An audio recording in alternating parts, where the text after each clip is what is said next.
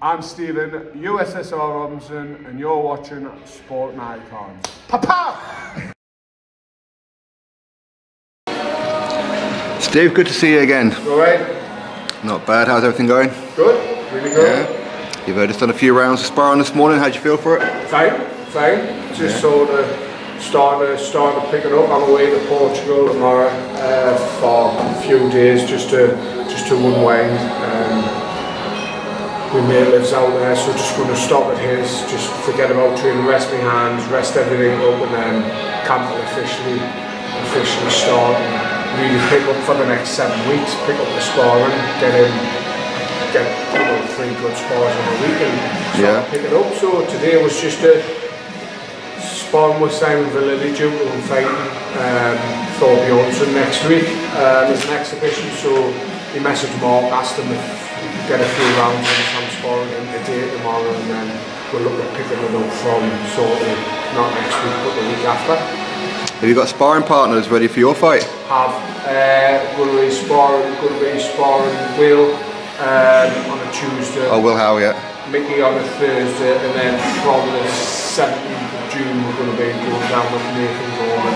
Oh, you are? Um, yeah, um, going to be going down there on a Thursday, Friday, Saturday, sparring on a Thursday, training in Pat Barrett's gym on the Friday, and then sparring on the Saturday, heading home and that for five weeks leading up to the fight. So everything's everything's in place, ready to go. So I'm looking, I'm looking forward to having a little break, letting, letting everything rest, enjoying the sun, and then get ready to get ready to start the camp. Nice.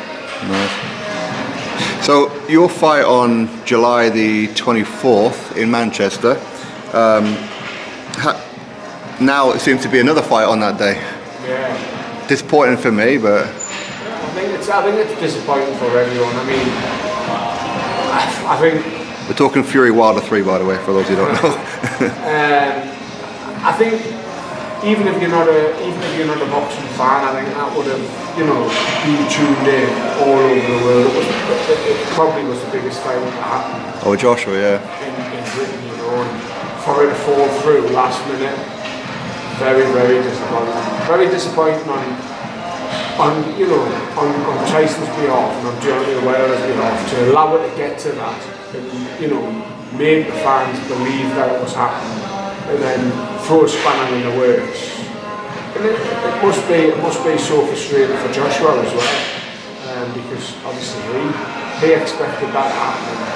You know Tyson Tyson said Joshua was sparring for months and months and months and you know when the fight was finally made it's like there's now there's now that spanner being held in the work. Whose fault is it? Did did Tyson know about it? Didn't he know about it did Deontay Wilder do it on purpose to get a payout? Does he want the fight? Nobody knows. No, you know nobody knows the politics involved. And it's just unfortunate for people like us who would be in spectator. And obviously I would be been sparring Joshua for that camp so it's disappointing for me as well. Yeah. Yeah, I was going to mention that because uh, there's a possibility of you going back. So Rob McCracken said that uh, they're probably going to bring you back for sparring. Um, I mean, if you was say in Tyson's situation, I know it's difficult because we're talking millions here, but um, apparently, according to Tyson, Deontay Wilder wants 20 million to step aside. If you was Tyson, would you arrange to give him 20 million so you can go earn the 100 million against Joshua? Be- Because there's no guarantees that he's going to beat Wilder firstly, and, there's, no, and there's no guarantees Joshua's going to beat Usyk. Yeah, so the, the whole, you know, again, we, we don't know the, you don't know the ins and outs. You don't know the. It's it's a lot. It's very easy for media just to type something up and make people believe, you know, that this is this is what's happening. This is the situation. By typing something up and it getting shared, that automatically goes into your head, and you know, you, you, you just automatically believe it's true. Hmm. And is there any truth to that? I don't. I, I can't say. I can't say there being truth behind that because if there was truth behind that, then 100% Tyson Fury and Anthony Joshua and Eddie Hearn. Eddie Hearn knows that. Eddie Hearn would have put 20 million of his own money up and said, "There you go," knowing that this this fight that's going to come off is going to make him Yeah. a lot more than 20 million off the back of it. you know, so there's no. I don't. I don't believe in. I don't believe there's any truth in that because between between the three camps, between Bob Arum, between Frank Warren, between Eddie Hearn, Fury, and Joshua, you know, you, you're talking you're talking a billion pound, if not more, between the between the five in net worth. For 20 million, it's, it's, it's, it's a 10 out of me or you, Yeah. pocket change. And if he was willing to step aside for 20 million, between the five of them, they would have they would have sorted. it. So there's more there's more to it than that. But unfortunately, this is the problem social media has. You know, this is the effect social media has on the world. It's type something up, it makes everybody believe it's true, and then that's all people are talking about. You know, But it was Tyson that put it out. He said that Wilder asked for 20 million, Yeah. but uh, but he's refusing to pay it because he'd rather punch his face in. But that's what I'm saying. It's you know, where, where's the truth to that? Because if that was the case, then if I was Eddie Hearn and Joshua, I'd say, right, we'll pay them. We'll pay it. I, I, I'm happy to make just eight million for this fight. Oh, but, but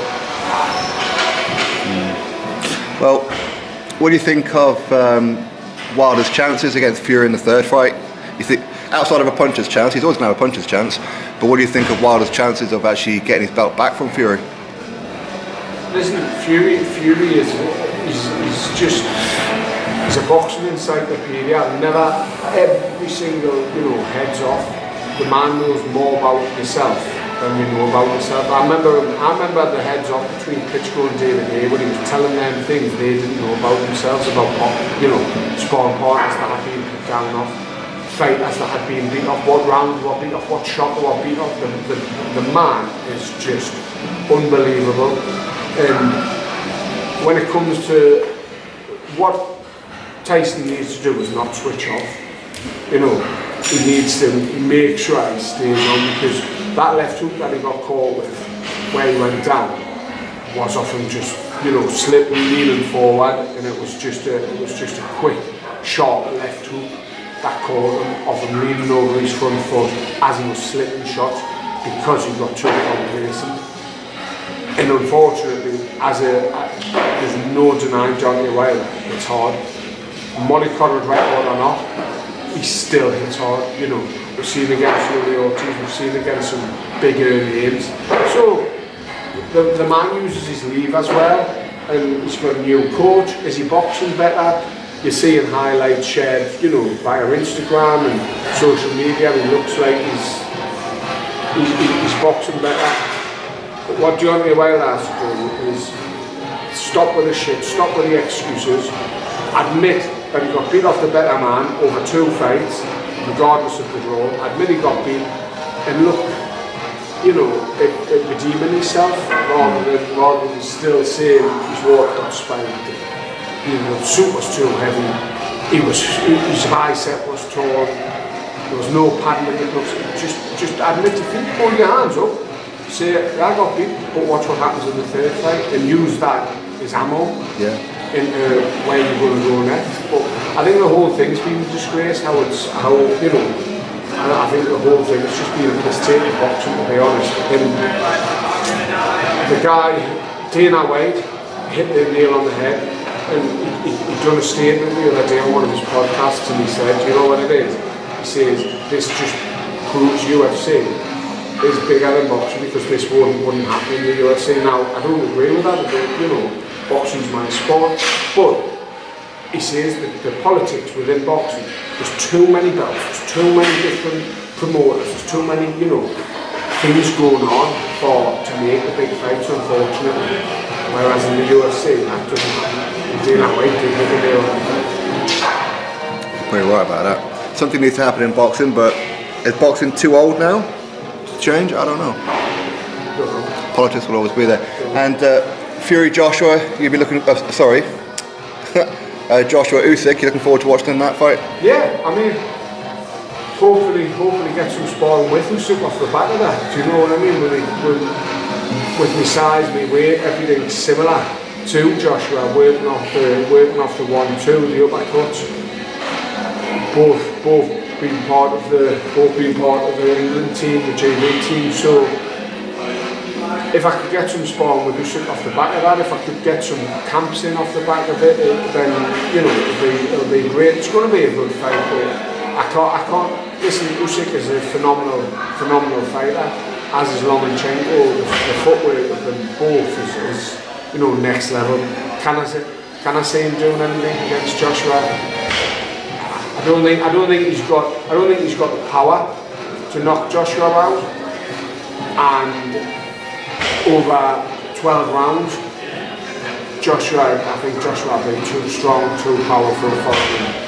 You know, he was, he was him, him versus Chisora was quite close, so I can't see him doing anything. I see doing anything with any of the top heavyweights. I would have really, really enjoyed to see him versus Joyce.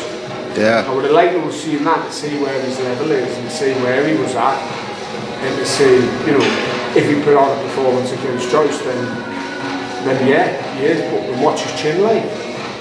Watch his chin like. Getting hit off these six foot seven, naturally 18 stone men. You know, is he is he capable of taking it? You don't you don't know. But once we'll we'll see come, you know, August. Do you think that uh, Joshua's chin is underrated? Because obviously he got hurt by uh, Ruiz, which was like a temple shot, but he's taken some big punches. But yet, a lot, but yet a lot of people seem to think he's got like a glass jaw. Well, isn't everybody who's sitting on the on the laptops or sitting on the chairs with a can of Stella, you know, in a 10 inch margarita on the side, saying he's got a glass jaw. It's, it's, easy to say, isn't it? You know, people have people have questioned my jaw. People have said, "Oh, well, uh, you know, what what can he take a punch?" Can and, and you, you see it on YouTube, you see it on social media. You, you, you know, he's shy, he's slow, he's robotic you're always going to get that. And Joshua's always going to give because, because of the Ruiz fight, he's always going to be known as having a weak jaw. But listen, you're getting hit off somebody 80, 90. He took this Klitschko shot, didn't he? Yeah. and he took, he took what, Deontay Wilder's, well, Dillian Whyte. Yeah, he's left one yeah. of the hardest hitting blokes in, you know, in heavyweight boxing. Took, took his shots. Yeah. So, has he got a glass chin? 100% not. No. I don't, I don't think anyone, even even David Price, hasn't got a glass chin. He's got somebody, you know. Does he does he does he put his foot forward? Does he leave his chin out? Does he leave himself vulnerable? Yes. That, but that's a total different. That'd be a good fight for you, David Price, one day. It would. It would. I mean, I think Hughie Fury's calling him out.